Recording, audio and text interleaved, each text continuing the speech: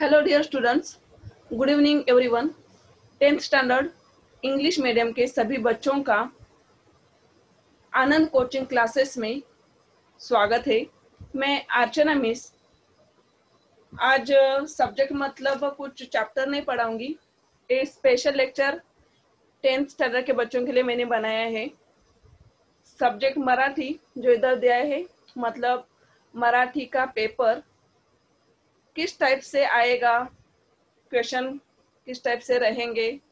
कौन से question की तरफ़ कितना ध्यान देना है? अच्छे से लर्न करना है। और आपका इस साल 2020 2021 इस साल में जो पोर्शन आपका रिड्यूस हो गया है 25 परसेंट बराबर ना? तो जो रिड्यूस हो गया कम किया गया है पोर्शन वो कौन कौन से चैप्टर है, वो भी मैं इस लेक्चर में बताऊँगी। और मेन आपका पेपर पैटर्न भी इस लेक्चर में हम देखेंगे। ग्रामर का रहेगा रैपिड रीडिंग का टेक्स्ट बुक के जो चैप्टर है, उसी में किस टॉपिक के ऊपर कितना ध्यान देना है, इसके बारे में इस लेक्चर में मैं बताऊँगी। तो पूरा लेक्चर ध्यान से सुनना है ओके स्टार्ट करते हैं। देखो इधर। डेट दी है। विषय मराठी, अक्षर भारती।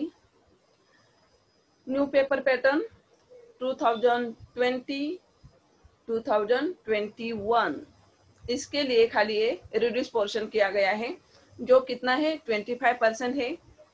यानी कि आपका जो पूरा टेक्स्ट बुक है, इसमें से 25 परसेंट कम किया गया है पोर्शन क्योंकि स्कूल चालू नहीं है हुँ? और क्लासेस चालू नहीं तो इसके लिए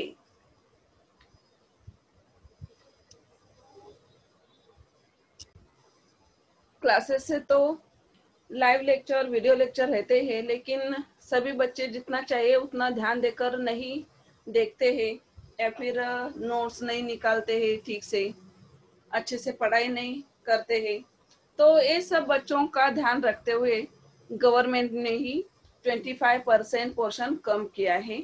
तो इसमें देखो पाठ क्रमांक सहा हा दिलेला आहे। जो चॅप्टर आहे चुडीवाला भाग दोन मध्ये येतो हा। भाग एक मध्ये जे काही आहेत संतवाणीपासून स्टार्ट होतं. याच्या अगोदर तू बुद्धी दे ही प्रार्थना आहे. ओके तर ती प्रार्थना फक्त तुम्हाला ताला सुरामध्ये म्हणण्यासाठी दिलेली प्रश्न विचारला नहीं. ठीक है बच्चों पार्ट वन जो है, विभाग एक, उसमें से कुछ भी पोर्शन कम नहीं किया है। जो फ़र्स्ट है, प्रार्थना तू बुद्धि दे। एक खाली आपको लर्न करो रीड करो। चलेगा, उसके ऊपर कुछ भी क्वेश्चन नहीं पूछे जाएँगे। उसके बाद संतवाणी शाल, उपास और रैपिड रीडिंग जो है मोटे होत असलेल्या मुलांनो सभी चैप्टर रहेंगे। हम्म? ये सभी टॉपिक आप लोगों को है। भाग दो में, देखो पाठ क्रमांक छ जो दिया है, जिसका नाम है चूड़ी वाला। भाग दो में है वो वो कैंसिल हो गया है। इसके ऊपर आप लोगों को कोई भी पैराग्राफ नहीं आएगा इस लेसन का। और कोई क्वेश्चन नहीं पूछा जाएगा। लास्ट के एग्ज़ाम में भी नहीं, और जो क्लासेस के जो प्रैक्टिस पेपर वगैरह लिए जाते हैं टेस्ट उसी में भी इसके ऊपर कोई भी पैसेज नहीं आएगा ओके आगे देखते हैं, भाग चार। इधर भाग तीन का जो दिया है, वो देखते हैं पहला। पाठ क्रमांक दस। टेन नंबर का लेसन जो है, रंग साहित्याचे। रंग साहित्याचे भाग तीन में है, जो टेन नंबर का लेसन है। Page number thirty six okay तो ये आपका कैंसिल हो गए और भाग नंबर तीन का ही हुँ? विभाग तीन का जो स्थूल वाचन है रैपिड रीडिंग जगन कैक्टस ये भी कैंसल हो गया है ओके और भाग चार में से पाठ क्रमांक चौदह चौदह नंबर का लेसन जो है, बीज पेरले गेले। चंदू बोर्डे इन्होंने लिखा है ये लेसन वो कम किया गया है, बीज पेरले गेले। आपकी टेक्स्ट बुक आपके पास में रहेगी 52 पेज नंबर पे है। ये पे आपका लेसन है। ठीक है, और स्टार्टिंग में बताती हूँ। लेसन लेक्चर अटेंड कर रहे हो। मराठी का पोर्शन आपको बता रही हूँ मैं। मराठी की टेक्स्ट बुक आपके पास होनी चाहिए, जो अनुक्रमणिका रहती है, उसमें आप क्या करो क्रॉस करके रखो, जो चैप्टर नहीं है, उसके ऊपर, और रैपिड रीडिंग नहीं है, उसके ऊपर क्रॉस करो ओके और उसके साथ साथ क्लास से जो नोट्स प्रोवाइड की है आप लोगों को, मराठी की, वो भी आप लोगों को पास में रखनी है, क्योंकि पेपर पैटर्न जो रहेगा, जो लास्ट के नोट्स के लास्ट में जो पेपर पैटर्न दिया है आप लोगों को, नमूना, कृति, पत्रिका करके पेज नंबर 228 228 पेज नंबर पे है वो। वही कृति पत्रिका हम लोग देखेंगे। रेफरेंस के लिए वही क्वेश्चन थोड़े बहुत लेंगे इधर। ओके और इधर देखो। One two three three chapter cut किए गए हैं। कम किए गए हैं। इसके ऊपर कुछ भी क्वेश्चन नहीं पूछा जाएगा। कुछ भी पैराग्राफ नहीं आएगा। और एक स्थूल वाचन, जो है जगन कैक्टस ये रैपिड रीडिंग कट किया गया है। और ध्यान दे दो इधर, कोई भी कविता कम नहीं की है हम्म? पोयम जो है, सभी पोयम आप लोगों को आने वाली है। इधर ध्यान में, ये रखो बात। टोटल एक, दो, तीन, चार हम्म? चार टॉपिक कम किए गए हैं ओके लेकिन और एक बात ए खाली चैप्टर कम किए हैं, लेकिन एक बहुत बहुत बहुत अच्छे चैप्टर है। तो आपको टाइम तो है ही आपके पास। ऐसा नहीं बोलूँगी मैं कि बहुत टाइम है तो रीड करो। हम्म रीड करने में क्या जाता है? तो मैं इस टाइप से बोलना चाहूँगी आपसे कि आपका नॉलेज बढ़ाने के लिए आपकी मराठी रीडिंग है वो और अच्छी होने के लिए आप ज़रूर एक बार एक पूरे चैप्टर जो कट किए गए हैं वो पूरे चैप्टर मन लगा के रीड करो। उसके साथ साथ टे, टेक्स्ट बुक में भी उसके क्वेश्चन होने के बाद जो भी ग्रामर का पोर्शन रहेगा वो ग्रामर का पोर्शन आप लोगों को आने वाला है। ये ध्यान में रखो ग्रामर का पोर्शन कुछ भी कम नहीं किया गया है। जितना कम करना था वो पिछले साल कम किया है। सो so, आप लोगों को पूरा ग्रामर पिछले साल जितना था उतना ही इस साल भी रहेगा। खाली 25 परसेंट जो कम किया गया है वो यही चैप्टर रहेंगे। चार हम्म यही कम किए गए हैं ग्रामर का या फिर इंग्लिश मीडियम के लिए पोयम कोई भी कम नहीं की है। और आप लोगों को जो नोट्स दी गई है क्लास से तो उसमें से आप लोग जो ए तीन, पहले तीन जो चैप्टर है, उसी के ग्रामर विभाग जो रहता है, उसी का ग्रामर विभाग जो है, वो ग्रामर विभाग आप लोग क्या कर सकते हो? प्रैक्टिस के लिए लर्न कर सकते हो ओके इससे आप लोगों को थोड़ा ज़्यादा जानकारी मिलेगी। मतलब लेसन नहीं है तो उसकी तरफ़ देखना ही नहीं, ऐसा नहीं है। और ये, और एक बार बोलती हूँ कि ये लेसन बहुत ही अच्छे है। खाली आप लोगों का स्कूल बंद है, इसी के लिए एक कम किए है। हम्म? आपके टेक्स्ट बुक में से। वरना ये लेसन मतलब जो बुक्स बनाई जाती है जिधर, उन लोगों की कमिटी बहुत सारे लेसन में से ये लेसन चुन, चुने गए हैं आप लोगों के लिए। हर एक पाठ में से या फिर हर एक पोयम में से, हर एक स्थूल वाचन में से कुछ ना कुछ अच्छे अच्छे मैसेज आप लोगों को पहुँचाने का काम होता है। और ये भी लेसन उसी टाइप से ही है, बहुत अच्छे है। आप लोग ज़रूर रीड करो इसको, ओके? आगे देखते हैं, आपका जो पेपर पैटर्न है, उसकी तरफ़ हम जा रहे हैं अभी। न्यू पेपर पैटर्न है, जो आप लोगों को अभी मैं बताऊँगी, जैसे कि 80 मार्क्स का आपका पूरा पेपर रहता है। बराबर? उसमें विभाग एक जो रहता है उसको पहला देखते हैं हम लोग। विभाग एक में प्रश्न क्रमांक एक। इसमें देखो, अ, आ और ई। इन तीनों पार्ट में प्रश्न क्रमांक एक डिवाइड किया गया है, ओके? तो इसमें अ में रहता है पठित उतारा, आ में भी रहता है पठित उतारा, यानी कि सीन पैसेज सीन पैसेज मतलब आपके जो भी चैप्टर है, जो कम किए गए हैं, उसकी तरफ़ ध्यान मत दो, बाकी के जो है तो उसमें से हुँ?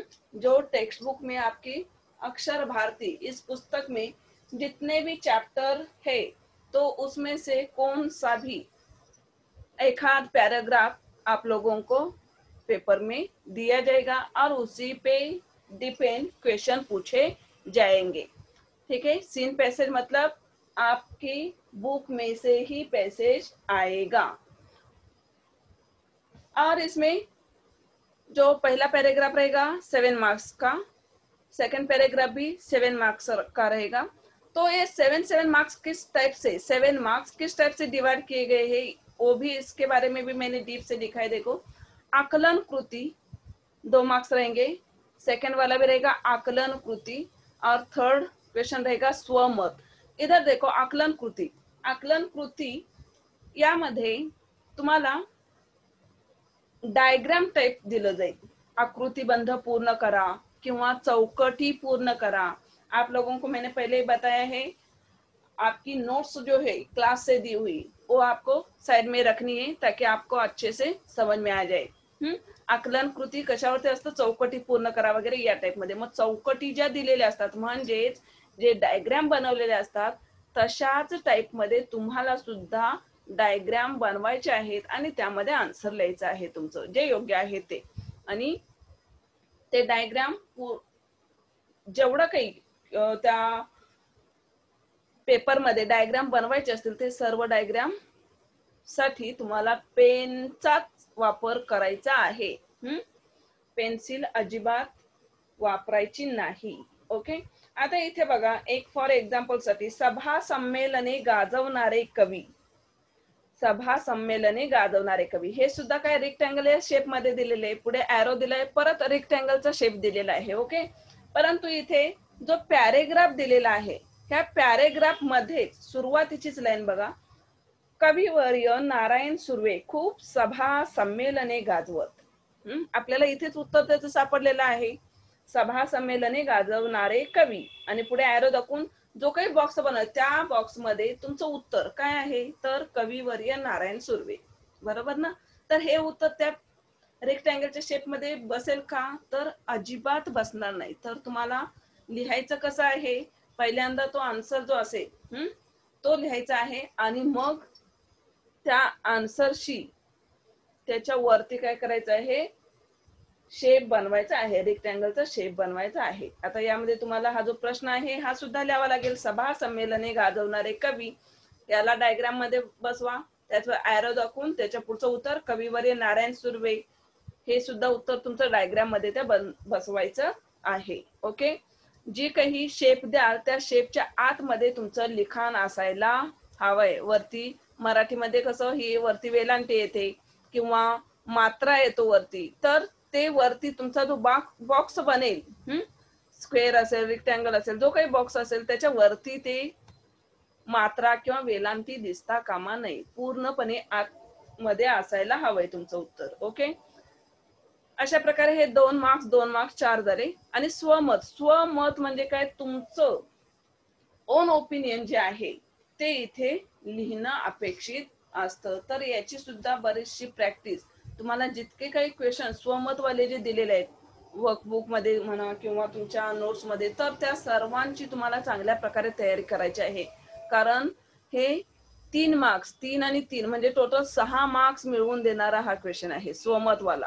हम्म म्हणजे तिथे सात सात मार्क्स हे चौदा झाले आणि तिसरा जो ई वाला क्वेश्चन आहे, हा अपठित उतारा याच्यावरती अपठित यानी अनसीन पैसेज आप लोगों का अनसीन पैसेज इसके ऊपर भी एक मैंने लेक्चर बनाया है. तो आप लोगों को समझ में आया होगा कि अनसीन पैसेज मतलब क्या? जो आपकी टेक्स्ट बुक में से पैसेज नहीं आएगा. दूसरे एक मराठी की जो भी मैगजीन रहेगी हुँ? तो उसी में से दूसरी बुक रहेगी, उसी में से आपको इधर पैसेज ये रहेगा, ये वाला क्वेश्चन उसी पे डिपेंड रहेगा। जो आपने कभी भी देखा नहीं है, वो पैसेज उसी के ऊपर ये क्वेश्चन रहेंगे। जो इधर, पहले में कैसे आकलन कृति वगैरह दिए, उसी टाइप से ही ये भी क्वेश्चन रहेंगे, आकलन कृति टाइप मतलब इसी में भी चौकटी पूर्ण करा हम्म या टाईपचे प्रश्न येतील। किंवा कधी कधी एका वाक्यात उत्तरे लिहा एक प्रश्न येईल। किंवा एखादं छोटासा शब्द दिला जाईल. आणि हा शब्द उत्तर येईल. असा क्वेश्चन बनवा. असाही प्रश्न विचारला जाईल. ओके या लेक्चरमध्ये जेवढं काही सांगितली जाईल माहिती ती एक आणि एक शब्द व्यवस्थितरित्या समजून घ्यायची आहे. ठीक आहे? अशा प्रकारे हा अनसिन पॅसेज हा चार मार्क्ससाठी असेल. इथे सात सात चौदा आणि चार. टोटल पुरा पहला विभाग जो रहेगा आपका, विभाग एक, एटीन मार्क्स का रहेगा हम्म जो चैप्टर्स के ऊपर है आप लोगों के हम्म इधर देखो सेवन सेवन फोर्टीन मार्क्स हम्म चौदह मार्क्स आप लोगों के मन में आया होगा बहुत सारे बच्चों के कि पूरा टेक्स्ट बुक हम लोगों को देखना है हम्म बहुत कुछ इतना रीड करना पड़ता है, और खाली चौदह मार्क्स ही, लेकिन ऑप्शन नहीं है बच्चों इधर। आपको एक एक मार्क्स लेकर ही अस्सी मार्क्स के आसपास जाना है। इसलिए इधर ऑप्शन नहीं है आप लोगों के पास। तो अच्छे से सभी टॉपिक के ऊपर ध्यान देना ही पड़ेगा। ओके? इधर विभाग एक एटीन मार्क्स विभाग एक साठी किती मार्क्स आहेत अठरा मार्क्स आहेत पुढे विभाग दोन आहे आपल्याला। इथे बघा विभाग दोन जो आहे हा पठित पद्य. पद्य म्हणजेच काय? पोयम. हम्म कविता के ऊपर रहेगा. पठित पद्य. Scene poem. सीन मतलब आपकी टेक्स्ट बुक में से ही पोयम आएगी. एट मार्क्स के रहे, लिए रहेगी ये पोयम. फ़र्स्ट आकलन कृती. सेकंड आकलन कृती. थर्ड क्वेश्चन रहेगा कवितेतील शब्दांचे अर्थ. और फोर्थ क्वेश्चन रहेगा काव्य सौंदर्य कृति. इस टाइप से आप लोगों को two two two two marks में ए, एट मार्क्स डिवाइड किए गए हैं। प्रश्न क्रमांक एक में अ क्वेश्चन रहेगा और आ। इस टाइप से दो टाइप में एक दूसरा क्वेश्चन डिवाइड किया गया है। अ में क्या रहेगा? पठित पद्य जो है यानी कि कविता कविता की कुछ लाइंस आपकी पेपर में दी जाएँगी तो उसके ऊपर ही आप लोगों को क्वेश्चन पूछेंगे। जैसे कि आप लोग जो कृति पत्रिका है इसमें देख सकते हो मैं भी वही सामने रख के आप लोगों को बता रही हूँ। चौकटी पूर्ण करा विभाग दोन मधलं बाळ आगीच्या तडाक्यात सापडल्यावर धावत जाणारी कोण आहे? तर पुढे तिथे काय करायचं आहे? बॉक्स बनवून बॉक्समध्ये उत्तर लिहायचं याचाच अर्थ काय? की चौकटी पूर्ण करा किंवा सूचनेनुसार कृती पूर्ण करा असंही दिलं जाईल. तर हे आकलन कृती टाईप अशा प्रकारे. आता इथे चार बॉक्स दिलेले आहेत चार क्वेश्चन विचारलेले आहेत. हाफ हाफ मार्क्ससाठी आहेत. म्हणजेच तुम्हाला इथं लक्षात घ्या तुमचं जे लिखाणाचं काम किंवा डायग्राम वगैरे बनवणं यामध्ये बराच वेळ जाणार आहे. परंतु तुम्हाला ते पटापट कृती करत जायचं आहे. कारण आपल्याला थ्री आवर्समध्ये हा पेपर सुद्धा कव्हर करायचा आहे. टायमिंगकडे पण लक्ष द्यायचं आहे. टायमिंगकडे लक्ष देतच पेपर सॉल्व्ह करायचा आहे ओके आपण डायरेक्ट विभाग तीन कडे गेलो. ठीक आहे? इथे हे एट मार्क्स पठित पद्यवरती. इथे तो प्रश्न विचारलेला आहे बघा इथे. मगाशी मी बोलली होती ना एखादं शब्द दिला जाईल उत्तर येईल म्हणून. इथे असाच प्रश्न दिलाय बघा इथे. चातक हे उत्तर येईल असा प्रश्न तयार करा. चातक हे तुम्ही जो प्रश्न बनवाल त्या प्रश्नाचं उत्तर काय आलं पाहिजे? चातक हे उत्तर आलं पाहिजे. तर असा क्वेश्चन बनायचा आहे. आता इथे बघा तुम्हाला प्रश्न तयार करायचा आहे. याचा अर्थ मुलं पटकन काय करतात? क्वेश्चन बनवतात. हा झालं. परंतु प्रश्न बनवत असताना जसं की तुम्हाला माहिती आहे क्वेश्चन बनवायचं आहे. तर क्वेश्चन बनवत असताना का कुठे कधी केव्हा कसा कशाला हे शब्द यूज करावे लागतात. आणि त्याचबरोबर इम्पॉर्टंट काय आहे? की लास्टला तुमचं प्रश्नचिन्ह देणं महत्वाचं आहे. क्वेश्चन मार्क ओके तर त्यासाठी तुमचा अर्धा मार्क्स असणार आहे. हा प्रश्न असा आला एक मार्क्ससाठी असेल तुम्ही प्रश्न कसा बनवला? अजून लास्टला क्वेश्चन मार्क आहे की नाही? प्रश्नचिन्ह. हम्म हे फार महत्वाचं आहे. तर याकडे थोडं लक्ष द्या. त्यानंतर शब्दांचे अर्थ लिहा. यामध्ये जे तुम्हाला मी प्रत्येक तुमच्या ज्या लेक्चरमध्ये स्टार्टिंगलाच स्टार्टिंगला सांगत असते की हार्ड वर्ड्स जे आलेले आहेत न्यू वर्ड्स त्याचे मिनिंग वगैरे हे व्यवस्थित लिहून घ्या. तर इथे तुम्हाला तेच शब्द दोन मार्क्ससाठी असणार आहे दोन मार्क्स मिळवून देतात. हम्म? इथे कवितेतील शब्दांचा अर्थ. तर ते हार्ड वर्ड्स जे आहेत हे लर्न करणं फार गरजेचं आहे. बऱ्याच वेळेला समानार्थी दुसरे शब्द दिले जातात परंतु कवितेत जे आहेत तेच लिहायचे असतात. त्यासाठी तुम्हाला कविता सुद्धा ती नीट रीड करणं गरजेचं आहे. ऑलरेडी तुमच्या पेपरमध्ये असते परंतु तुम्हाला ते नेमकं उत्तर काय आहे हेच कळत नाही. तर त्यासाठी लर्न करणं फार गरजेचं आहे. ओके तसेच पुढे काव्य सौंदर्य कृती. काव्य सौंदर्य कृतीमध्ये काय येतं? तर काही दोन ओळी दिलेल्या असतील. आणि ह्या ओळीतील अर्थ सौंदर्य स्पष्ट करा असा प्रश्न विचारला जाईल. तर याचा अर्थ काय आहे की ही कविता कवितेचं नाव कोणतं आहे? तसेच ती कविता कोणी लिहिलेली आहे? यांचाही उल्लेख करणं गरजेचं आहे. त्याचबरोबर त्या दोन ओळीचं एक्सप्लेनेशन काय होतं? सिंपल मराठी अर्थ काय होतो त्याचा? तो तुम्हाला तिथे नमूद करायचा असतो लिहायचा असतो ओके आपण आ या प्रश्नाकडे जाऊयात आता. प्रश्न दोन मधला आ, जो आहे पद्य मुद्दे. इथे पोयम पॉइंट्स दिलेत, यावरती आठ मार्क्स आहेत? इसके ऊपर एट मार्क्स रहेंगे. पहला जो क्वेश्चन था, अ वाला, उसके ऊपर भी एट मार्क्स है.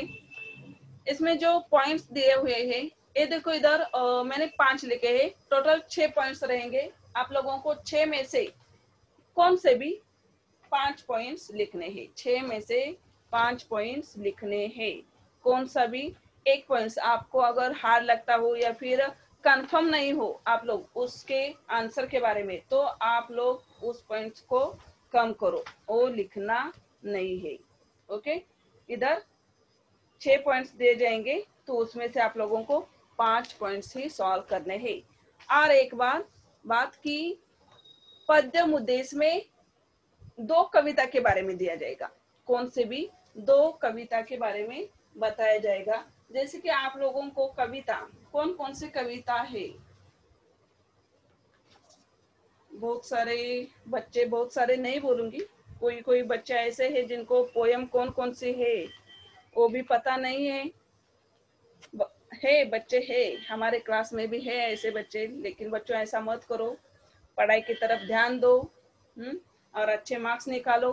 इसके लिए बुक्स उसको ध्यान से देखना भी ज़रूरी है कौन कौन से चैप्टर है कौन कौन सी पोएम है रैपिड रीडिंग कौन कौन से है वो भी। देखो इधर अभी अ, कविता में संतवानी जो है संतवानी में दो पोयम है हम्म दो दोनों के दोनों पोयम बड़ी बड़ी है। एक ही पोयम है संतवानी लेकिन उसके अंदर दो पोयम है दो बड़ी है इसके लिए मैं इसको दो में काउंट करती हूँ। उसके बाद आएगा दोन दिवस. हम्म एक कविता है ऑक्शन एक कविता रंग मजेचे रंग उद्याचे. ही कविता हिरवगार झाडासारखं. ये भी कविता है और स्वप्न करू साकार. ये भी कविता है टोटल जैसे कि पहली संतवानी में अगर दो काउंट किएँगे, करेंगे तो टोटल सात कविता. हम्म सात कविताएँ होती है. तो आप लोगों को सातों के सातों कविताओं का हम्म अच्छे से रीडिंग करना है, जो लेक्चर रहते हैं, वो लेक्चर मराठी में भी और हिंदी में भी उसका एक्सप्लेनेशन दिया जाता है। तो सोच समझ कर या फिर अच्छे से समझ कर उसको देखना है, हर एक लेक्चर को। कविताएँ बहुत इम्पोर्टेंट है। सात कविताएँ है और सात कविताएँ आप लोगों को सिक्सटीन मार्क्स दिलाकर जाएगी? आप लोगों को अच्छे से वो उसके कविता के नाम कविता किसने लिखी है? उस कवि के नाम लर्न करके रखने हैं। पॉइंट देखते हैं अभी कवीचे नाव। हम्म? जसे की दोन दिवस। दोन दिवस ही कविता। कोणी लिहिलेली आहे? तर त्याचे कवी कोण आहेत? कवीचे नाव. म्हणजेच त्या कविता लिहिलेली आहे. त्या व्यक्तीचं नाव. म्हणजेच कोण आहे? ही कविता कोणी लिहिलेली आहे? आठवतं का रे कोणाला? हम्म? तर तुमचं उत्तर तयार ठेवा मनामध्ये. चेक करा नारायण सुर्वे. आहे का बरोबर उत्तर तुमचं बघा? ही कविता कोणी लिहिलेली आहे? नारायण सुर्वे यांनी. त्या कवितेचा विषय काय होता? ओळीचा अर्थ. ओळींचा अर्थ इथे क्वेश्चन आहे. तर इथे बघा तुम्हाला दोन ओळी दिल्या जातील. तर त्या ओळींचा अर्थ तुम्हाला लिहायचा आहे. त्या ओळींचा साधा सरळ अर्थ काय होतो तो तुम्हाला लिहायचा आहे. तसेच कविता आवडण्याचे न आवडण्याचे कारण. कविता ह्या सगळ्याच चांगल्या आहेत कविता. न आवडण्याचा प्रश्नच येत नाही. मग कविता आवडते तुम्हाला बरोबर? मग आवडते तर का आवडते? तर त्याचं सुद्धा रिझन तुम्हाला तुम्हाला समजेल असं किंवा तुम्हाला व्यवस्थित लिहिता येईल असं मोजक्या आणि सोप्या शब्दामध्ये लिहायचं आहे. शक्यतो हर एक कवितेचं जे लेखन वैशिष्ट्य आहे हे तुम्हाला नोट्समध्ये चांगल्या प्रकारे लिहून दिलेलं आहे. तर त्यानुसार तुम्ही ते कविता आवडण्याचं काय कारण आहे ते सांगायचं आहे. ओके नंतर पाचवा पॉइंट आहे कवितेतून मिळणारा संदेश. जसं हर एक कवितेतून काही ना काहीतरी मेसेज दिला जातो. हम्म मी सुद्धा स्टार्टिंगला ही कविता का दिलेली आहे? यातून आपल्याला काय मेसेज मिळतो? हे हर एक कवितेच्या स्टार्टिंगला सांगत असते. तर त्यानुसार त्या कवितेतून तुम्हाला काय मेसेज मिळतो हे सुद्धा तुम्ही तिथे एक्सप्लेन करणं फार महत्वाचं आहे. हर एक कवितेतून काही ना काहीतरी खूप चांगले मेसेज हम्म तुमच्यावरती चांगला परिणाम घडवणारे मेसेज असतात. काहीतरी घेण्यापर्यंत ते मेसेज तुमच्यापर्यंत कसे पोहोचत आहेत तर हे थोडक्यात तुम्हाला तिथे सांगायचं आहे. तसेच अजून सुद्धा एखादा पॉइंट इथे येईल. कोणता ये असेल? जसं की इथे आता कवितेतील शब्दांचा अर्थ. इथे ओळींचा अर्थ आहे. काही शब्द दिले जातील तर त्या शब्दांचा अर्थ लिहा असाही प्रश्न असू शकेल. हम्म? किंवा ह्या कवितेतून मिळणारा संदेश इथे दिलेला आहे. कवीचं नाव कवितेचं नाव. कवयित्री असेल तर लेडीज असेल तर ती कवयित्री झाली. मग कवयित्रीचे नाव असं तुम्ही लिहायचं आहे तिथे. ओके? अशा प्रकारे तुम्हाला प्रश्न क्रमांक दोन मध्ये अ आणि आ हे जे दोन प्रश्न आहे दोन भागामध्ये डिवाइड केलेला आहे हा प्रश्न. हा सोळा मार्क्स देऊन जाणार आहे. किती? सोळा मार्क्स कविता कमी आहे चॅप्टरपेक्षा कविता कमी आहे आणि सोळा मार्क्स मिळवून देत आहेत तुम्हाला. तर कविता चांगल्या प्रकारे तुम्ही त्याकडे लक्ष द्यायचं आहे. ओके हा भाग तुम्हाला चांगल्या प्रकारे इथे समजला असेल.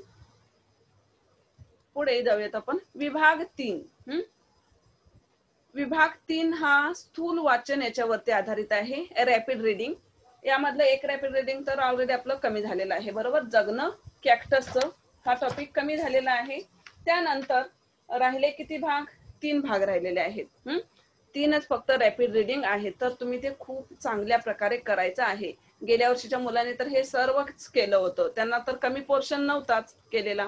परंतु हे सर्वच केलं होतं. तुम्हाला भरपूर कमी झालेलं आहे पोर्शन तर तुम्ही अजून चांगल्या प्रकारे लक्ष देऊन अभ्यास करू शकता. मार्क्स किती आहे? रॅपिड रिडिंग साठी सहा मार्क्स आहेत. आता इथे बघा, प्रश्न तीन. आणि बरोबर काय? टू अपॉन थ्री असं दिलेलं आहे. तर याचा अर्थ असा होतो की, तीन क्वेश्चन विचारले जातील. थ्री क्वेश्चन पूछे जाएँगे आपको. उसमें से आप लोगों को दो के ही आंसर लिखने हैं. ओके तो आपको पहले डिसाइड करना है, कौन से दो क्वेश्चन कॉन्फिडेंस से अच्छे से आप लिख सकते हो। तो ही वो क्वेश्चन का आंसर लिखने की शुरुआत करो। तो ऐसा नहीं कि तीनों के तीनों लिखोगे तो ही छह मार्क्स मिलेंगे। ऐसा नहीं। दो लिखेंगे आप लोग तो भी चलेगा, लेकिन ठीक से अच्छी रेटिंग में होने चाहिए। स्टार्टिंग का फ़र्स्ट क्वेश्चन रहेगा स्वमत, जो खुद का आपका ओपिनियन रहेगा। सेकंड क्वेश्चन टिपा लिहा जो शॉर्ट नोट करके रहेगा। और थर्ड क्वेश्चन मोटा प्रश्न बिग क्वेश्चन इस टाइप से रहेगा। ठीक है? देखो इधर स्थूल वाचन। किंवा इथे बघा स्वमत यामध्ये एखादं प्रश्न विचारला जाईल आणि हे विधान तुम्हाला पटतं का? तुमचं मत यावरती काय आहे? ते स्पष्ट करा किंवा तुमचं मत मांडा असं म्हणून सुद्धा प्रश्न दिला जाईल. टिपा लिहामध्ये जसं की जाता असताला ही कविता आहे. तर या कवितेतील सूर्य आणि पंथी हम्म सूर्य आणि पंथी या प्रतीकामागे दडलेला खराखुरा अर्थ जो आहे हा अर्थ स्पष्ट करायचा आहे. जसं कविता शिकवताना ज्या टाईपने एक्सप्लेन केलेले असते तोच अर्थ तुम्हाला इथे या प्रश्नाचं उत्तर म्हणून लिहायचा असतो. ठीक आहे?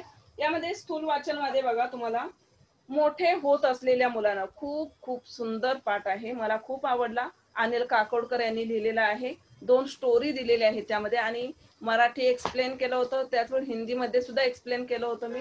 खूप चांगले वाटले पाठ ते दोन्हीही. म्हणजेच दोन पाठ म्हणजे काय? दोन अनुभव. हम्म? दोन अनुभव त्यांनी स्वतःचे सांगितले होते त्यामध्ये. मोठे होत असलेल्या मुलांना यामध्ये. त्याचबरोबर पुढचं आहे जाता असताला हे रवींद्रनाथ टागोर यांनी लिहिलेलं आहे. हे सुद्धा सुंदर आहे स्थूल वाचन नंतर व्युत्पत्ती कोश हे एक स्थूल वाचन आहे. परंतु हे व्युत्पत्ती कोश हे जे आहे हे तुम्हाला नाईन्थ स्टँडर्डला सुद्धा होतं. सेम त्या टाईपच इथे आहे. त्यामुळे यावरती काय तुम्हाला जास्त हार्ड आहे किंवा सगळेच नवीन शब्द आहेत असा काही भाग नाही आहे. त्यामुळे ऑलरेडी हे उत्पत्ती कोश हे झालेलंच आहे असं आपण समजू. आणि चौथं जे तुमच्या पुस्तकामध्ये होतं की जगना कॅक्टसचं हे तर काय कॅन्सल झालेलं आहे त्यामुळे महत्त्वाचे कोणते आहेत?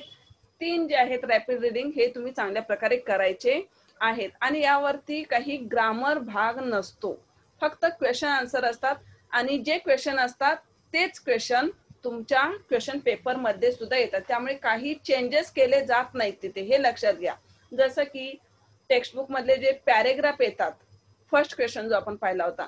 पॅरेग्राफ कोणताही येऊ शकतो आणि त्यावरती जे क्वेश्चन असतात असं नाही की तुमच्या वर्कबुकमध्ये किंवा नोट्समध्ये किंवा अजून काही रिलायबल असेल त्यामध्ये जे क्वेश्चन आहेत असेच्या असे दिले जातात. नाही क्वेश्चनमध्ये त्या चेंजेस करून दिले जातात बरोबर ना? परंतु इथे स्थूल वाचनमध्ये मात्र जे काही क्वेश्चन असतील तुमच्या टेक्स्टबुकमध्ये असो किंवा नोट्समध्ये असतो तोच क्वेश्चन तशाच टाईपने तुम्हाला पेपरमध्ये दिला जातो. तर सांगायचं हेच आहे की तुम्ही ही प्रश्नांची उत्तरे पाठांतर करायचे. आणि हाच फक्त भाग असा आहे की जो तुम्हाला लर्न करावा लागतो. हे लक्षात घ्या. फर्स्ट सेकंड विभाग जो होता हा लर्न करायचा नाहीये. फक्त आन्सर कशा प्रकारे कारण आन्सर तुम्हाला त्याच पॅरेग्राफमध्ये असणार आहेत बरोबर ना? फक्त शोधून कशी उत्तरं लिहायचे ही कला तुम्हाला आली पाहिजे. ते महत्वाचं आहे. आणि विभाग तीन हा काय आहे? पूर्णपणे लर्न करायचा आहे. ठीक है? स्थूल वाचन, इसके ऊपर जो क्वेश्चन रहेगा क्वेश्चन नंबर थ्री जो आप लोगों को ठीक से, अच्छे से लर्न करना है। हुँ? और इसमें भी तीन क्वेश्चन रहेंगे। तीन में से आप लोगों को दो ही क्वेश्चन लिखने हैं। इधर देखो, ये बी क्वेश्चन रहेगा थ्री नंबर का सेकेंड नंबर का शॉर्ट में लिखना है आप लोगों को। ऐसा नहीं कि थ्री नंबर का ज़्यादा है तो अच्छे मार्क्स मिलेंगे, ऐसा नहीं। सभी क्वेश्चन के लिए थ्री थ्री थ्री मार्क्स ही है तो ये क्वेश्चन थोड़ा कैसा पैराग्राफ वगैरह बना के अच्छे से लिखो जो स्व इसमें रैपिड रीडिंग उसका नाम क्या है हुँ? कौन से रैपिड रीडिंग स्थूल वाचन में से आया है ये स्थूल वाचन किसने लिखा है, ये भी थोड़ा मेंशन करो तो चेक करने वालों पर थोड़ा अच्छा असर होता है हुँ? देखो इधर विभाग तीन सिक्स मार्क्स के लिए रहता है, और जो रैपिड रीडिंग के लिए इसके ऊपर डिपेंड है। ठीक है? इधर तक समझ में आया आप लोगों को? आगे देखते हैं। विभाग चार, जो पूरा विभाग चार ग्रामर पर आधारित है। बहुत सारे लेक्चर्स ग्रामर पर हो चुके हैं। लेकिन, खुशी की ही बात है आप लोगों के लिए, बताऊँगी मैं, कि जितने लेक्चर हुए हैं, उसमें से भी बहुत कम हो गया है पोर्शन आपका। हुँ? मैंने ही ज़्यादा ही आप लोगों को पढ़ा दिया है। ठीक है? नॉलेज तो आप लोगों को मिला उतना। नॉलेज तो किधर जाता नहीं है हुँ? आपको आज ना कल काम में ही आएगा वो। ठीक है? इधर व्याकरण विभाग जो रहता है, इसमें एक बात ध्यान में रखो। आप लोगों को मिलेंगे तो फुल मार्क्स मिलेंगे, नहीं तो ज़ीरो मार्क्स मिलेंगे। ओके तो इसके लिए इस व्याकरण जो रहेगा, इसकी अच्छी से तैयारी करनी है आप लोगों को। हाफ़ मार्क्स नहीं मिलता इधर। मिलेगा तो एक मिलेगा, नहीं तो ज़ीरो मिलेगा। हम्म? तो आप लोगों को ज़ीरो नहीं लाना है, एक पूरा मार्क्स लाना है। हाफ़ में किसी को जाना नहीं है हाफ़ तो मिलेगा ही नहीं मार्क्स इधर। इसलिए पूरे के पूरे मार्क्स सिक्सटीन मार्क्स इधर आप लोगों को लेने ही है। ओके व्याकरण कृति, अ और आ, दो भागों में डिवाइड किया है। वाक्य प्रकार ओळखा। वाक्य रूपांतर करा थर्ड क्वेश्चन वाक्प्रचार. ओके वाक्य प्रकार ओळखा. यामध्ये बघा वाक्य दिली जातील आणि तो प्रकार कोणता आहे? विधानार्थी वाक्य आहे प्रश्नार्थी वाक्य आहे उद्गारार्थी वाक्य आहे हे लेक्चर झालेलं आहे. हम्म? हे तुम्हाला काय करायचं आहे? ज्यांनी अजून एक मी सांगते का बऱ्याचशा मुलांनी स्टार्टिंगची काही लेक्चर पाहिली नसतील तर त्यांनी सुद्धा तुमच्या मोबाईलमध्ये जे क्लासचा आपल्या ऍप आहे आनंद कोचिंग क्लासेस ऍप जे आहे तर ह्या ऍपमध्ये पहिली स्टार्टिंग पासूनची सर्व लेक्चर्स अवेलेबल आहेत. तर ती सर्वच्या सर्व लेक्चर्स तुम्ही पहा म्हणजे तुमच्या लक्षात येईल नेमकं तुमचं कोणतं लेक्चर मिस झालेलं आहे जे फार कदाचित इम्पॉर्टंट आहे. कदाचित म्हणण्यापेक्षा सर्वच लेक्चर्स इम्पॉर्टंट आहेत. परंतु एवढंच सांगेन जी पाहिली नाहीत लेक्चर तर ती तुम्ही आताही पाहू शकता. वाक्य प्रकार ओळखा समजलं तुम्हाला? म्हणजेच एखादं वाक्य दिलं जाईल ते नेमकं कोणत्या प्रकारचं आहे? हे? ओळखायचं आहे. वाक्य रूपांतर करा असा प्रश्न आहे. तर यामध्ये बघा प्रश्नार्थी वाक्य दिलं जाईल तर त्याचे विधानार्थी वाक्य करा असं विचारलेलं असेल तर ते वाक्य रूपांतर करायचं आहे. वाक प्रचार वाक प्रचार. मी हर एक चॅप्टरमध्ये तुम्हाला सांगत असते वाक प्रचार व्यवस्थित पाठांतर करा. ते जे हार्ड वर्ड्स जे तुमचे असतात तिथे ते वाक्प्रचार अजिबात लिहायचे नाहीत. वाक्प्रचार हा शब्द असा लिहायचा वेगळाच. आणि त्याच्याच खाली हर एक लेसनचे वाक्प्रचार यायला हवे. तुम्हाला चार मार्क्स मिळवतात. हम्म चार मार्क्स इथे मिळून जाणार आहेत. चार मार्क्स फार महत्त्वाचे असतात. तुमच्या लक्षात आलंच असेल आतापर्यंतच्या या सांगण्यावरून माझ्या इथे वाक्य प्रकार हे जे लेक्चर आहे ते जर वाक्यांचे प्रकार हे लेक्चर तुम्ही ऐकलं तर यावरती हे दोन क्वेश्चन तुम्हाला सॉल्व्ह करता येतील. वाक्य प्रकार ओळखा आणि वाक्य रूपांतर करा. त्यामध्येच आहे एकाच लेक्चरमध्ये आहे ते. ठीक आहे? ज्यांनी पाहिलं नसेल पुन्हा एकदा सांगते फार इम्पॉर्टंट आहे. या दोन्हीसाठी दोन दोन मार्क्स म्हणजे इथे चार मार्क्स आहेत. तर ते लेक्चर पहा.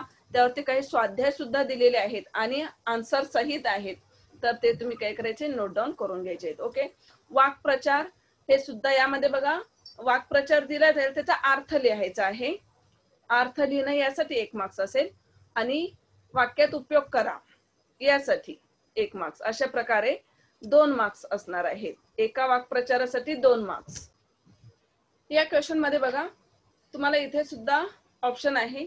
तीन वाक्प्रचार दिलेले असतात. हम्म किती? तीन दिलेले असतात. त्यापैकी दोन लिहायचे असतात.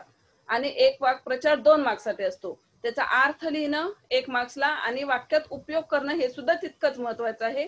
म्हणजे असे दोन दोन मार्क्ससाठी दोन वाक्प्रचार लिहायचे असतात. इथे बघा फॉर एक्झाम्पल अंगाचा तिळपापड होणे. असा समजा वाक्प्रचार दिलेला आहे. तर त्याचा अर्थ काय होतो? अंगाचा अंगाचा तिळपापड होणे. तर याचा अर्थ संताप होणे हा काय झाला अर्थ झाला? तर तुम्ही पुढे संताप होणे असं लिहिलं तर तुम्हाला एक मार्क्स मिळेल. आणि त्याचा वाक्यात उपयोग करणे. आता वाक्यात उपयोग वगैरे करायचं हे तुम्हाला कशा प्रकारे हे वाक्प्रचाराचे वाक्यात उपयोग करायचे माहिती आहे. जो क्वेश्चनमध्ये भाग असतो तोच तुम्ही जो काही सेंटेन्स बनवाल म्हणजे वाक्यात उपयोग कराल तर त्यामध्ये तीळ पापड होणे अंगाचा तीळ पापड होणे हे वर्ड त्या सेंटेन्समध्ये तुमच्या यायला हवेत. जसं की देशातील वाढता भ्रष्टाचार पाहून माझ्या अंगाचा तिळपापड होतो. असंही चालेल. किंवा कोणा दुसऱ्या एखाद्या व्यक्तीचं नाव दिलं तरी चालेल. हम्म इथे वाक्प्रचार हे चार मार्क्स तुम्हाला मिळवून देणारा क्वेश्चन आहे. तर नीट लक्ष देऊन ते पाठांतरच करायचं. इथे हा लर्न करण्यावरती भर द्यायचा आहे. तुमचा हा व्याकरण भाग जो आहे यावरती एक वेळ तुमचं लाईव्ह लेक्चर घेतलं जाईल. त्यामध्ये तुम्हाला क्वेश्चन विचारले जातील तर तेवढी तयारी तुम्ही तुमची ठेवली पाहिजे. जे काही लेक्चर झालेले आहेत त्या बाबतीतली. पुढचा क्वेश्चन आ जो आहे हा भाषिक कृती. यामध्ये तीन भाग दिलेत. शब्द संपत्ती लेखन नियम विराम चिन्ह. यावरती हे क्वेश्चनमध्ये ह्या विचारलं जाईल. जसं की आता शब्द संपत्ती. शब्द संपत्ती असं म्हणून एक अलग लेक्चर बनवलं होतं. ओके? तर ह्या शब्द संपत्ती हा जो क्वेश्चन आहे हा तुम्हाला चार मार्क्स मिळून जातो. शब्द संपत्तीमध्ये समानार्थी शब्द विरुद्धार्थी शब्द येतात. किंवा शब्द समूहाबद्दल एक शब्द हम्म लिंग बदला हे सुद्धा आहे. किंवा एक वचन अनेक वचन. नेमकं काय आहे तेही विचारलं जातं. किंवा क्वेश्चन एक वचनी शब्द दिले असतील त्याचे अनेक वचनी शब्द बनवा असं सुद्धा दिलं जातं. हम्म तर हे जे याच्यावरती लेक्चर झाले यामध्ये अजून सुद्धा वेगळ्या प्रकारे क्वेश्चन कशा प्रकारे विचारले जाऊ शकतात? जसं की एखादा सेंटेन्स दिला जातो आणि त्यामध्ये एखाद्या शब्दाखाली अंडरलाईन केली जाते. तर त्याचा विरुद्धार्थी शब्द लिहा आणि वाक्य पुन्हा लिहा असाही क्वेश्चन विचारला जाऊ शकतो. तर त्याची सुद्धा चांगल्या प्रकारे तयारी करायची आहे. शब्द संपत्ती हे लेक्चर पुन्हा एक वेळ पहा. चार मार्क्स आहेत यासाठी. लेखन नियम म्हणजेच काय शुद्ध लेखनाने लिहायचं. यामध्ये बघा तुम्हाला एखादा शब्द चार टाईपने लिहिला जातो. त्यामध्ये तीन टाईपने जो लिहिला जातो हा रॉंग असतो. आणि एक काहीतरी त्याचं उत्तर जे असतं ते बरोबर असतं. तर यामधला योग्य शब्द कोणता आहे? तो व्यवस्थित लिहायचा असतो. अजून कसा क्वेश्चन विचारला जातो की एखादा सेंटेन्स दिला जाईल आणि ते लेखन नियमानुसार शुद्ध करून लिहा असं दिला जाईल. मग यामध्ये उकार पहिला असेल तिथे जर दुसरा असणं अपेक्षित असतं किंवा तिथे दुसरा उकार गरजेचा असतो तर ते एक चेंजेस करायचे असतात. अजून काय वेलांटी किंवा कधी कधी अनुस्वार एखाद्या वेगळ्याच हिच्यावरती दिला जातो. इथे बघा शब्द संपत्ती सवरती अनुस्वार दिलेला आहे. तुम्हाला जो अशुद्ध सेंटेन्स दिला असेल त्यामध्ये प वरती जर अनुस्वार असेल तर ते तुम्हाला तेवढं क्लिक झालं पाहिजे की हा शब्द कसा आहे? शब्द संपत्ती असा नाही आहे आपण कधी वाचलाच नाहीये. तर शब्द राईट शब्द काय आहे? शब्द संपत्ती असा आहे. तर तो अनुस्वार स वरती असणं गरजेचं आहे. तर ते तुम्हाला समजलं पाहिजे की काय नेमकं मिस्टेक केलेली आहे. ओके पुढचं आहे तिसरं विरामचिन्हे आपलं हे जे व्हिडिओ लेक्चर मराठी विषयाची जी पहिलं लेक्चर घेतलं होतं हे विराम चिन्हावरती होतं. मला आठवतं विरामचिन्ह यावरती पहिलं लेक्चर घेतलं होतं. तर विराम चिन्हे कोणती आहेत? तुम्हाला हा क्वेश्चन दिलेला आहे. यामध्ये बघा सेंटेन्स दिले जाईल आणि वरील सेंटेन्स वाक्यामध्ये कोणती विरामचिन्ह वापरलेत? ते तुम्हाला लिहायचं असतं. दोन विरामचिन्ह तर असणार कारण दोन मार्क्स आहेत. दोन तर असणारच. मग ती विरामचिन्ह नेमकी कोणत्या त्याचं साईन खाली टाकायचंय आणि त्याला काय म्हणतात ते त्याच्या पुढे एरो दाखवून लिहायचं आहे तुम्हाला ओके किंवा असं असेल साधा सेंटेन्स दिला जाईल आणि विरामचिन्ह यूज करा असं दिलं जाईल. मग रीड केल्यानंतर तुमच्या लक्षात आलं पाहिजे. क्वेश्चन विचारलं असेल तर प्रश्नचिन्ह अपेक्षित आहे. मनातले पटकन आलेले भाव असतील तर तिथे उद्गारार्थी चिन्ह अपेक्षित आहे. एक्सलेमेटरी साईन तर ते गरजेचं आहे तिथं लिहिणं. अशा प्रकारे शब्दसंपत्ती लेखन नियम विराम चिन्ह इथे हा विभाग चार जो आहे पहिल्यांदा इथे आठ मार्क्स आणि भाषिक कृती आठ मार्क्स हम्म आठ आठ सोळा मार्क्स विभाग चार जो ग्रामर के ऊपर पूरा डिपेंड है जो आप लोगों को सिक्सटीन मार्क्स दिलाता है. ओके और हर एक के ऊपर अलग अलग लेक्चर बनाए हैं। सो वो प्लीज़ अच्छे से देख लो। खाली वाक प्रचार जो रहेंगे वो कैसे? आपके चैप्टर में से ही है वो टॉपिक तो आप लोगों के चैप्टर में जितने भी वाक प्रचार है, आप लोग क्या कर सकते हो इसके लिए कि वो अलग से, एक पेपर पे अलग से ही पूरे वाक प्रचार जितने भी रहेंगे, वो अलग से एक पेपर पे लिख लो। और वो लर्न करो, आपको समझ में आएगा। आगे देखते हैं विभाग पाँच। पाँच विभाग जो है, वो पत्र लेखन और सारांश लेखन। इसमें देखो आप लोगों की थोड़ा फ़ायदे की बात है इधर। पत्र लेखन लिखना है या फिर सारांश लेखन लिखना है। सिक्स मार्क्स है सिक्स मार्क्स इसके ऊपर है। पत्र लेखन में भी फॉर्मल और इनफॉर्मल इसमें से एक लिखना है। देखो इधर टोटल तीन ऑप्शन है। पत्र लेखन में औपचारिक, अनौपचारिक में से एक हम्म? पत्र लेखन आपको नहीं लिखना है, कोई बात नहीं, सारांश लेखन करो। जिसको, और एक मैं इधर बताती हूँ बात कि जिसको अच्छे से मराठी आता है हम्म? जो समझ सकता है वो ही सारांश लेखन लिखने का प्रयास करो। क्योंकि आप जितने भी पाँच छह लाइन लिखोगे, उस लाइन में आप लोगों को लिख समझ में आना चाहिए कि जो पूरा पैसेज रहेगा टेन फिफ्टीन लाइन का जो पैसेज रहेगा, वो पूरा पैसेज आप लोगों ने उस फाइव या सिक्स लाइन में वो मेंशन किया या फिर उसके बारे में ही बताया गया है। ये चेक करने वाले को लगना चाहिए टीचर्स को ऐसा लगना चाहिए, महसूस होना चाहिए कि जो इतना बड़ा पैराग्राफ था, वही पैराग्राफ इस पाँच, छह लाइन में भी समझ में आ रहा है। ठीक है? तो एक तो सारांश लेखन और ये सारांश लेखन का क्वेश्चन किधर से रहता है पता है आप लोगों को? जो अनसिन पैसेज रहता है ना? हुँ? हम्म, पहले क्वेश्चन का दे बताया था देखो। पहले क्वेश्चन में आ ई रहता है। ई में जो अनसिन पैसेज रहता है ना वही पैराग्राफ का आप लोगों को क्या करना है? सारांश लेखन लिखना है। इसके लिए अलग पैराग्राफ नहीं दिया जाता है। ओके? नहीं तो पूरा पे, पेपर देखने लगोगे कौन सा पैराग्राफ कौन सा पैराग्राफ। तो इधर थोड़ा ध्यान रखो ये अनसिन पैसेज का ही आप लोगों को सारांश लेखन करना होता है। अगर ये आप लोगों को नहीं करना है छोड़ दो। पत्र लेखन की तरफ़ ध्यान दो। पत्र लेखन में भी दो पत्र लेखन। बहुत ही अच्छी तरह से मैंने लेक्चर बनाया है मराठी और हिंदी। दोनों के लिए भी बहुत ही डीप में से ये सिखाया गया है। फॉर्मल और इनफॉर्मल। हम्म, दोनों में से आप लोगों को जो अच्छा लगता है जो लेटर आप अच्छी तरह से ठीक तरह से हम्म, लिख सकते हो उस पत्र में अच्छे से प्रेजेंट हो सकते हो आपको पूरा कॉन्फिडेंस है। पाँच मार्क्स तो मिलेंगे ही मिलेंगे तो वही लेटर लिखने की कोशिश करो। मैं तो पहले ही बताती हूँ कि आप लोगों को एक तो औपचारिक की अभी से तैयारी रखो औपचारिक लिखना आपको पसंद है, वही लिखो, या फिर अनौपचारिक लिखना है, उसी की ही प्रैक्टिस रखो आपको कैसा भी, ए आपके सिलेबस में दोनों है, या फिर ये तीनों है, पत्र लेखन दो है, सारांश लेखन है तो लिखना तो पड़ेगा ही आपके नोट्स में, ठीक है नोटबुक में जो रहेगा, वो उधर तो लिखना ही, मेंशन तो करना ही है हुँ? हम्म? लेकिन आपको तैयारी किसकी करनी है ये तो आपको खुद को तय करना है ना तो इसके लिए औपचारिक या अनौपचारिक, दोनों में से एक करो, ठीक है? छह मार्क्स मिले। ऐसा मत करो कि ये हाफ़ आता है ये ठीक से बराबर नहीं है तो थोड़ा सारांश लेखन भी लिखते हैं और ये भी लिखते हैं।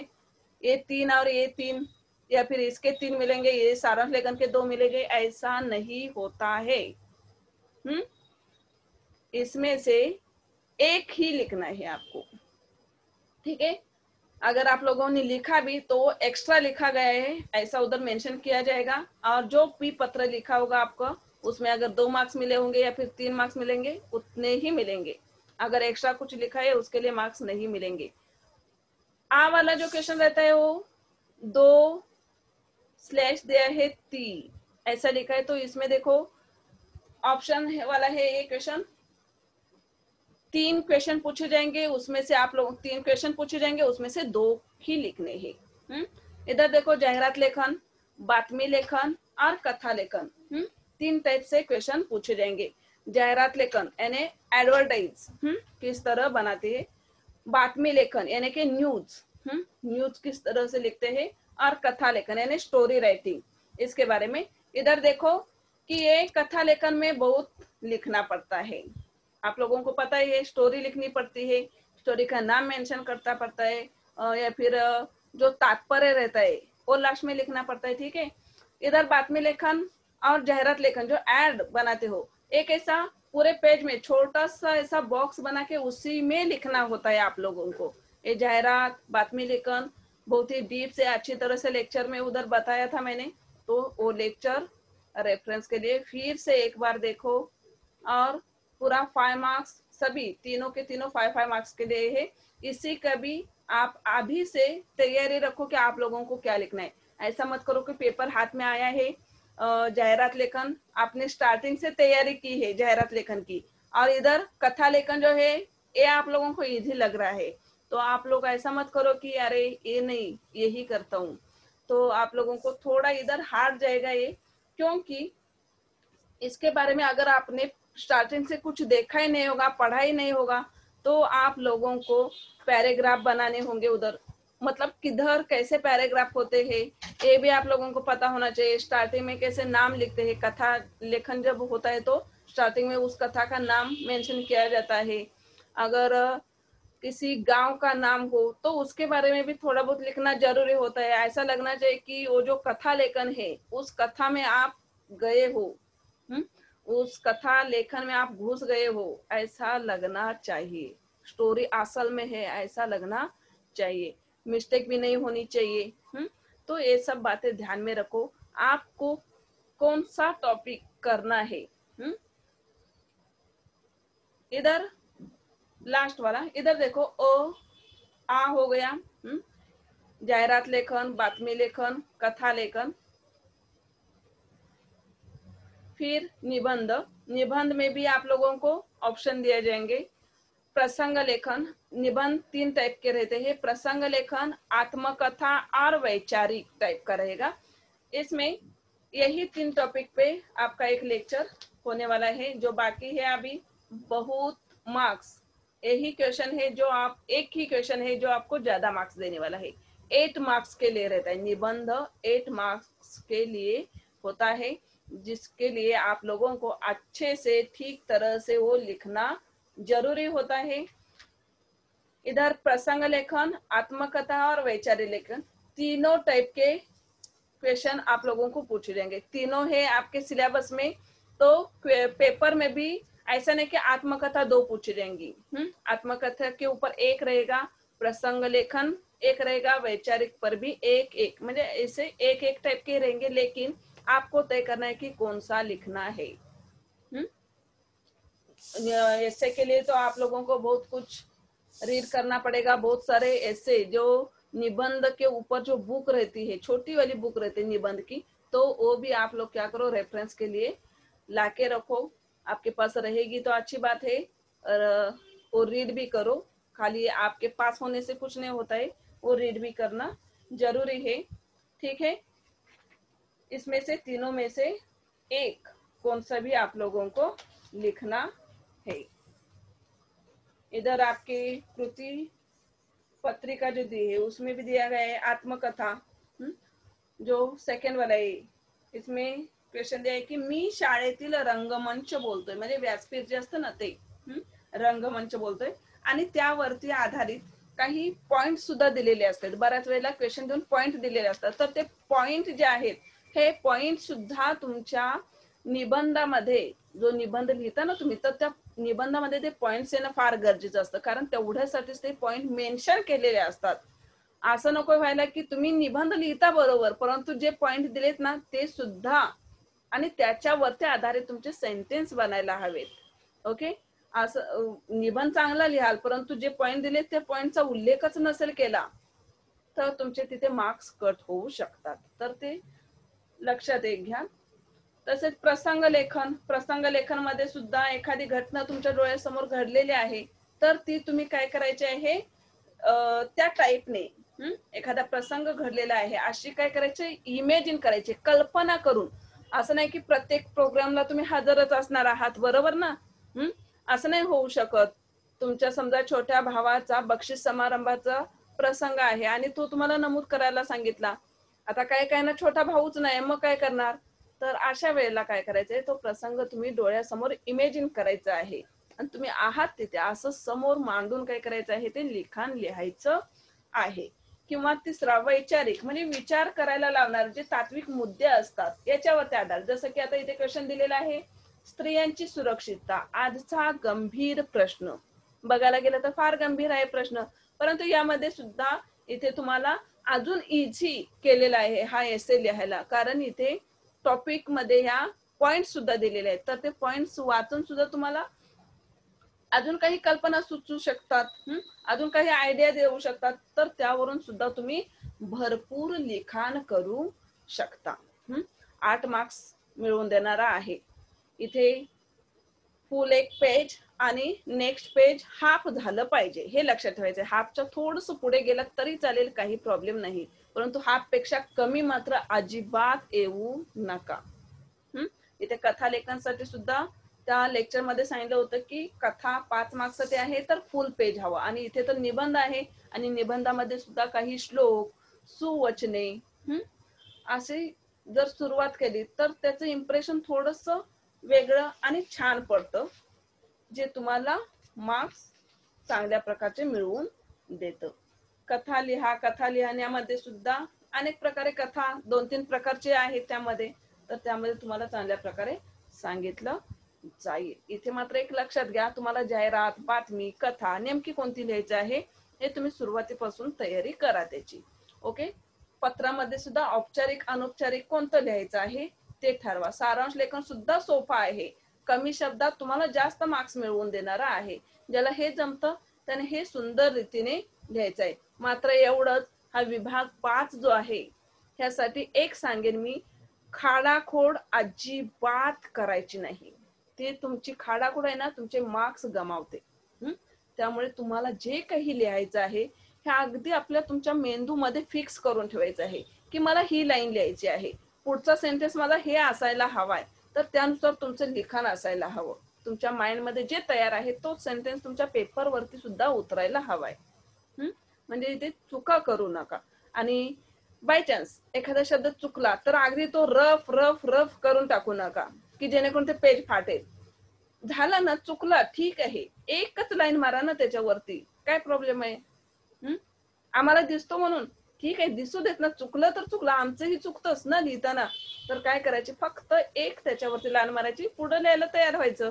हम्म ठीक आहे? हे चांगल्या प्रकारे तुम्ही करायचं आहे पूर्ण पेपरची तयारी. पुन्हा एक वेळ पेपरचा तुमचा जो पॅटर्न आहे त्याचा मार्क्सही तिथे दाखवते मी. इथे मराठी टोटल मार्क्स किती आहेत? एटी मार्क्स आहेत. ओके? एटी मार्क्स ऐंशी मार्क्सचा हा पूर्ण पेपर गद्य यामधला पठ्ठीत जो आहे म्हणजे पाठातील. हम्म जे आहे ते क्वेश्चन वरती चौदा मार्क्स आणि अनसिन पैसे चार मार्क्स अशा प्रकारे पूर्ण अठरा मार्क्स इथे मिळतात तुम्हाला. त्यानंतर पद्य म्हणजेच पोयम जे आहेत ह्या पोयम सोळा मार्क्ससाठी स्थूल वाचन रॅपिड रिडिंग सहा मार्क्ससाठी व्याकरण ग्रामरचा जो भाग आहे हा सोळा मार्क्ससाठी उपयोजित लेखन जो आहे हा चोवीस मार्क्स ट्वेंटी फोर मार्क्स मिळवून देतं. अशा प्रकारे एकूण मार्क्स ऐंशी मार्क्स होतात. ठीक आहे? अशा प्रकारे हा पूर्ण तुमचा पेपर पॅटर्न इथे झालेला आहे. इथे ग्रामरचा जो भाग आहे ग्रामरचे एक्स्ट्रा लेक्चर झालेले आहेत जसं की अलंकार वगैरे. तर हे लेक्चर मधलं तुम तुम्हाला येणार नाही फक्त त्याचा उपयोग तुम्हाला कुठे होईल माहितीये? कवितांचं जे पॉइंट्सद्वारे क्वेश्चन दिले होते बघा. कवी कोण आहेत? या कवितेतून कोणता मेसेज मिळतो? किंवा कवितेची लेखन वैशिष्ट्य काय आहेत तर हे जो लेखन वैशिष्ट्यवाला जो क्वेश्चन आहे त्यामध्ये हे अलंकार वगैरे म्हणजे या अलंकारामध्ये कवीने ह्या अलंकाराचा चांगल्या प्रकारे कवितेत उपयोग केलेला आहे किंवा पूर्ण कविता हम्म जे काही उत्प्रेक्ष अलंकार शिकवलं किंवा उपमा अलंकार यमक अलंकार तर ह्या अलंकारामध्ये पूर्ण कविता लिहिलेली आहे. अशा प्रकारे इथे उपयोग होणारा आहे. ठीक आहे? इथे संपलेलं आहे जे मी स्पेशल दहावी साठी हे लेक्चर घेतलं होतं. तुमचा जो पोर्शन कमी झालेला आहे हेही सांगितलं. तसंच पूर्ण पेपर पॅटर्न कसा असेल यावरतीही चांगल्या प्रकारे लेक्चर झालेलं आहे. आय होप तुम्हाला आवडला असेल तर लाईक जरूर करा. ठीक आहे? आणि यानुसार अभ्यासाला तयारी अभ्यासाची सुरुवात करा. आणि तयारी करायला सुरुवात करायची आहे. Okay bye